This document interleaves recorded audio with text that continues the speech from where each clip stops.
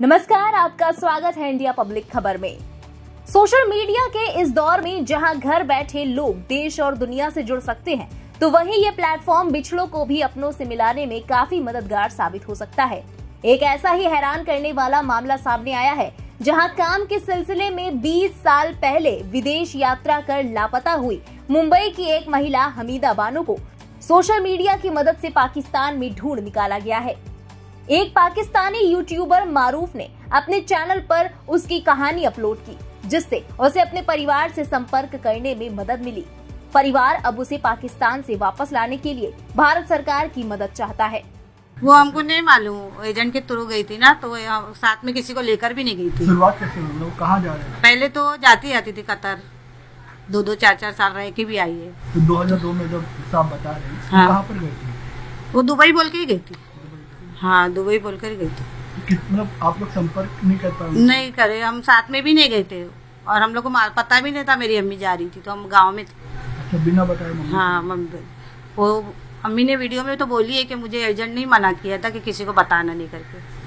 तो मतलब किस किस सिलसिले में मतलब मम्मी जो है आपकी वो दुबई काम के खाना बनाने के। हाँ।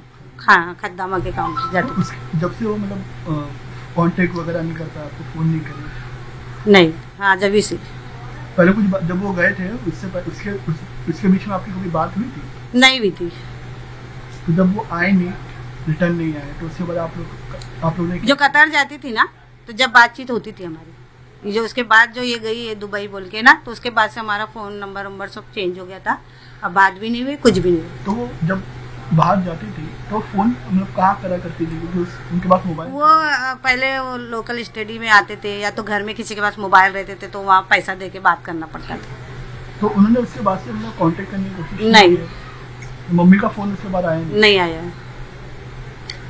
कितने साल हो गए? बीस साल हुए? दो हज़ार उन्नीस साल। वही लड़का ये जो छोटा वाला है ना वो एक साल के बाद हुआ। दो हज़ार दो याद है हमको। 2002 का। हाँ। तो जब आपको पता कैसे चला कि मम्मी पाकिस्तान में है या फिर सब मामला कैसे सामने आया अभी ये वीडियो देखने से ही पता चला नहीं तो उससे पहले हमको कुछ पता ही नहीं वीडियो आया ना पूरा। वीडियो आया ना तो हमको पता चला हमारी सरकार से यही है कि हमारी मम्मी को जल्द से जल्द लाया जाए। हिंदुस्तान में हिंदुस्तान लाया जाए। जानकारी के मुताबिक पाकिस्तान में सामाजिक कार्यकर्ता वली उल्लाह मारूफ की मुलाकात हमीदा बानो से हुई। हमीदा ने उन्हें बताया कि मुंबई में एक ट्रैवल एजेंट ने 20 साल पहले किस तरह दुबई में काम देने का वादा कर उनके साथ ठगी की थी।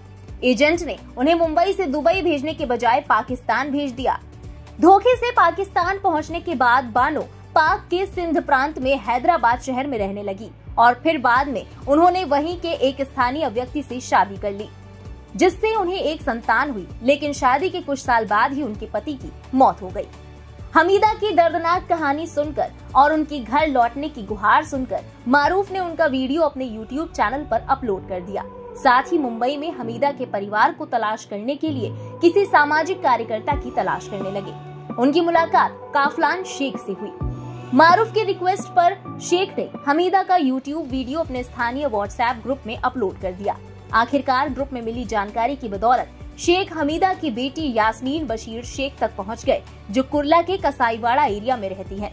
बहरहाल, हमीदा का परिवार उसे पाकिस्तान से वापस लाने के लिए भारत सरकार से मदद की आस लगाए हुए है।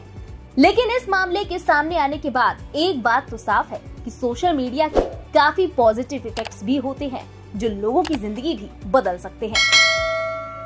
इस खबर के बारे में आपकी क्या राय है, हमें कमेंट सेक्शन में लिखकर ज़रूर बताएँ। साथ ही देश और दुनिया की बाकी खबरों के लिए सब्सक्राइब करें इंडिया पब्लिक खबर के यूट्यूब चैनल को और बेल आइकन दबाना बिल्कुल ना भूलें।